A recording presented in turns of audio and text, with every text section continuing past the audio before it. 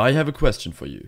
Who won the iconic World Cups of 1954, 1974 and 1990? Right now I am pretty sure you are thinking, man that is too obvious. Germany, Germany and Germany. Can't you think of any more challenging questions? Yeah, okay, we all have the pictures in mind of the likes of Helmut Rahn, Franz Beckenbauer or Lothar Matthäus lifting the World Cup, but what if I told you that technically you are wrong to say that Germany won these three titles? Wait, why is that? Well, quite simply it is because Germany as such, as we know it today, did not exist in any of those three years. Instead, the state or nation who actually lifted these three World Cups was West Germany.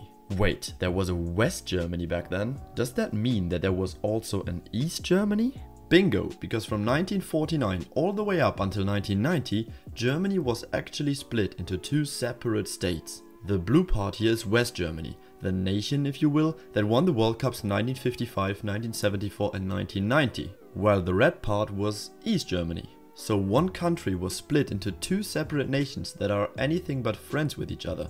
We only have this weird situation in Korea nowadays, but Germany actually had this as well for 41 years. Yeah, German history is pretty complicated. And if I'm gonna tell you that this yellow point within East Germany is actually Berlin that was itself split into West and East Berlin, it doesn't really make things easier to understand. Well, this is not a history channel here of course, but I'm still gonna give you some historical background just so you have some context of what we're talking about. So after the end of World War II up until 1990, the so-called Cold War era, we had West Germany on the one side and East Germany on the other side. Although the people were more or less the same, I mean they were all Germans, these were two completely separate state who couldn't be any more different. For context, West Germany was basically what Germany is today. It was a typical Western style country of capitalism, freedom, democracy and the economy after the war was pretty much reviving itself and it was more or less even booming. It was controlled and strongly supported by the Western allies, the United States, the United Kingdom and France.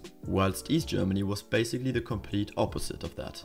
It was a typical Eastern Bloc communist country, and even though the officials back in the day would have never admitted it, but it was more or less a dictatorship. Even though East Germany was technically called the German Democratic Republic, it was nothing else but a puppet state of the Soviet Union. And so democracy was not a thing there, people were not free, the economy was suffering and most of the population were rather poor and very unhappy. So just looking at this little comparison, it becomes very clear how different the two Germanys were and where life was better in West Germany. That is also why during these 41 years, thousands of East Germans tried to escape from the East to the Free West. But actually achieving that was rather hard, because the East German government put up crazy borderlines and relentlessly shot down everyone who tried to escape the country. The most famous of those fortifications was probably the Berlin Wall, where a lot of people lost their lives trying to escape from East to West Berlin. Well, I could go on to talk about this super interesting topic for hours, but after all, this is a football channel and we want to talk about the beautiful game.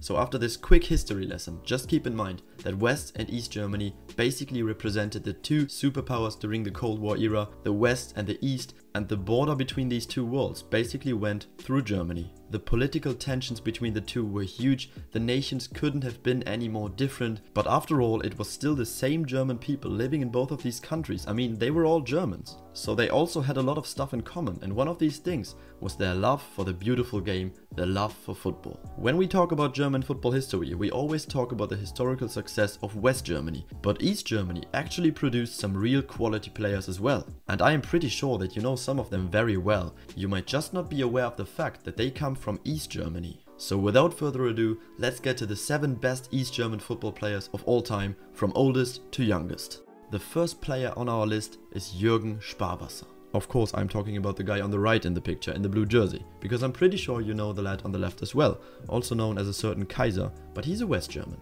Unlike Jürgen Sparwasser. One of the first East German football stars, Jürgen Sparwasser was born in 1948 and he played football as a professional from 1966 to 1979 as a one-club man for East German side Magdeburg. Sparwasser was a flexible striker who could play on either side of the pitch. And he had a really interesting career and life. First of all, he was part of the Magdeburg team that won the UEFA Cup Winners' Cup in 1974. This huge success was the only time in history that an East German side won a European title. Sparwasser was one of the most prolific East German strikers with 111 Oberliga goals to his name. The Oberliga was the East German top division, so that is the equivalent of West Germany's Bundesliga. But the biggest moment in Jürgen Sparwasser's career came in 1974 when he scored the winning goal against West Germany in the World Cup 1974 in Hamburg. Yep, in the World Cup 1974, East and West Germany actually faced each other in the group stages. That was the only competitive game in history between the two German nations. And East Germany obviously went into this game as huge underdogs. Most of their players weren't even professionals. While the West German team was one of the best in the world, it consisted of stars like Franz Beckenbauer and Gerd Müller, and they also went on to win the World Cup later. But still, East Germany managed to defy all the odds and beat big favorites West Germany in that group stage game with a winner of Jürgen Sparwasser. This match was politically super important as the communist East German government used it as some kind of propaganda for their state, being the better Germany. Well, Jürgen Sparwasser made it possible. And also interesting to note that he was always an opponent of the communist system in his country. His family got into trouble with the government and they actually managed to escape to the west in 1988, only two years before the state would break down and reunification would come. So that was Jürgen Sparwasser for you, one of the two big East German stars who ended their careers before reunification. And now we're getting to the biggest one. Joachim Streich. Well, I'm pretty sure you've never heard of him, but he is definitely worth talking about. What a player. Joachim Streich was born in 1951, a bit younger than Sparwasser, and he played from 1969 to 1985. He was a classic center forward as they were typical in the 70s and 80s, and he scored his goals for Hansa Rostock and later on also for Magdeburg alongside Sparwasser. And I think it's fair to say that even though Joachim Streich didn't have those single big moments like Sparwasser, he was all in all a better player. Streich holds several unbreakable records in East Germany. With 229 Oberliga goals, he's the all-time top scorer of the league. And he has 53 goals in 98 caps for the East German national team. Both of these numbers are records. Keep in mind that the East German national team was never really good, so 53 goals in 98 caps is actually a great number. It was due to those records and also his playing style including spatial awareness and agility that Joachim Streich was nicknamed Gerd Müller of the East. So I think it's fair to say that he was the best East German player of the 70s and 80s. But now after those two classic icons we are actually getting to players who are East German, they are from East Germany, but they have also played in the reunified Germany. And the first of those and number 3 of 7 players today is Ulf Kirsten. I'm not quite sure if you have heard of this guy, but he was definitely a baller. So who was Ulf Kirsten? Born in 1965, his career lasted from 1983 to 2003, 20 years of which the first 7 were played in the East German League at East German side Dynamo Dresden from 83 to reunification 1990 and after reunification Ulf Kirsten immediately moved to the West where he joined Bayer Leverkusen, the club that he would play for for the next 13 years, as a pure striker.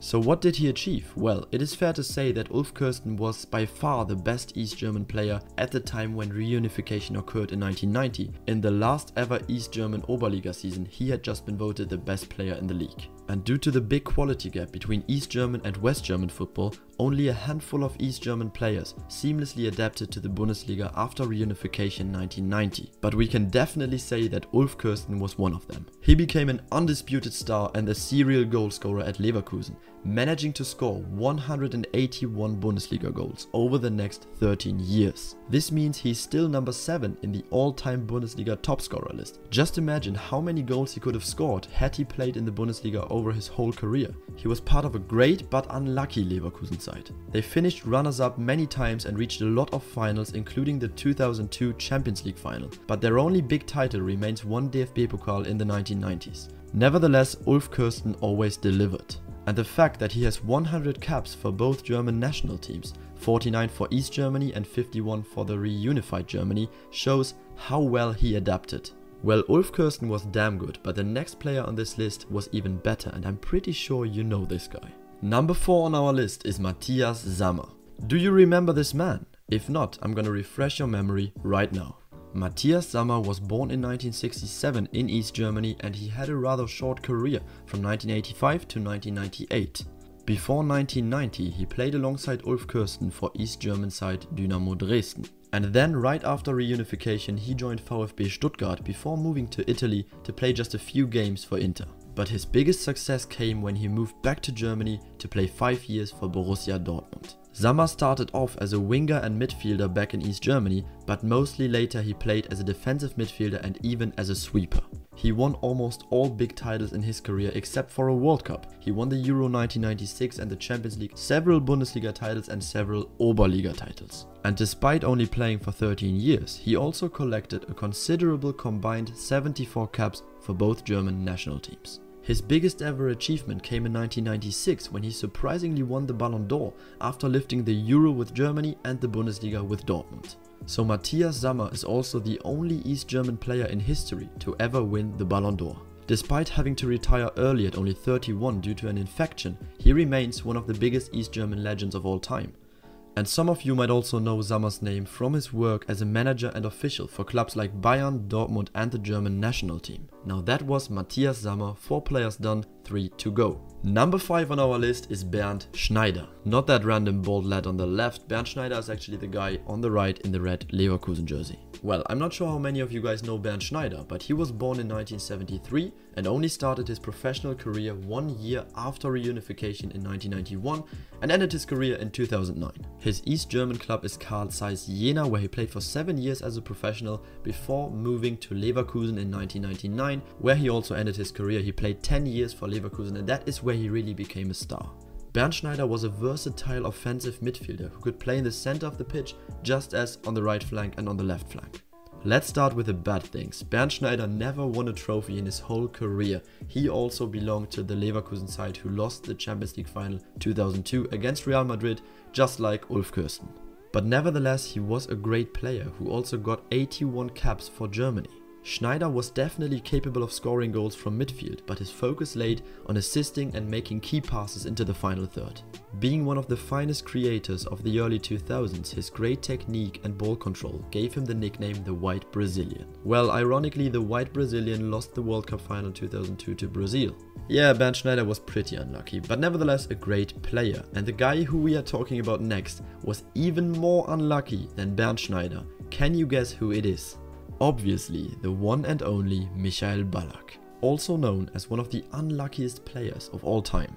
But let's start in the beginning. Michael Ballack was born in 1976, so he was also too young to play professional football in East Germany. He started his career in 1995 and ended it in 2012. His East German academy team was Chemnitz and his most notable clubs in his professional career include Kaiserslautern, Leverkusen, Bayern and of course Chelsea. Ballack is known as one of the most complete central midfielders of the early 2000s. And let's not act like he never won any silverware. He won 5 league titles and 7 domestic cups in England and Germany. But nevertheless, damn was this lad unlucky. Just like Ulf Kirsten and Bernd Schneider, he was part of the Leverkusen side 2002. Leverkusen really seemed to like these East Germans. Anyway, that Leverkusen side was on track to win the treble. They were first in the Bundesliga, they were in the DFB Pokal final and in the Champions League final.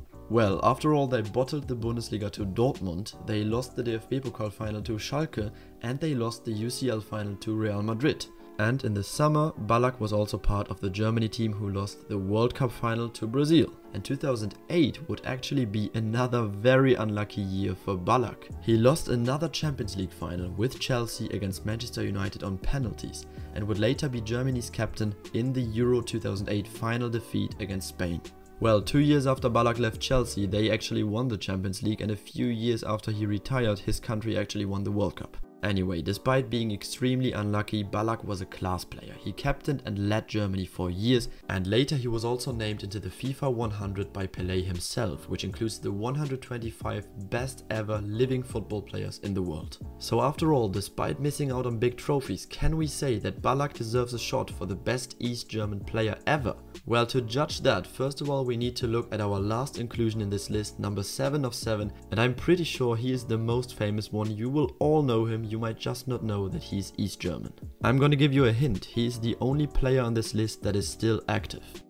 Got it? It is no less than the one and only Toni Kroos. Yep, Toni is actually an East German. Born in 1990, just a few months before the two Germanys reunified, Toni Kroos was born in the communist East Germany and not in the unified Germany that we have today. He started off his professional career at the age of 17 in 2007 and of course is still playing today. His East German youth team is Hansa Rostock just like Joachim Streich. He then went to Bayern and after a short loan spell at Leverkusen he really got his breakout season and he started becoming a world class player at Bayern. Then after the World Cup 2014 they somehow gave gave him away for peanuts to Real Madrid and he has been one of the best central midfielders in the world for years. Do I even have to talk a lot about Toni? You all know him. He's won all possible titles. He's the only German to win 4 Champions League titles. He's the only German to win the Champions League with two different teams and he is renowned for his infamous vision, passing, set piece ability, dictating the tempo of the play. He's just a class maestro. At only 31, he has already amassed over 100 caps for the German national team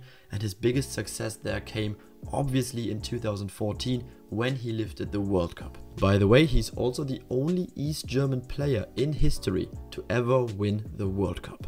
Matthias Sammer did not win the World Cup 1990 because that happened a few months before reunification. Very unlucky, but congratulations Toni Kroos. Well, after hearing all of this, you know how good Toni Kroos has been and still is. I think it is fair to say that he might be the best East German footballer we have ever had. Although the decision is surely not an easy one because all 7 players in this list have been legends of the beautiful game.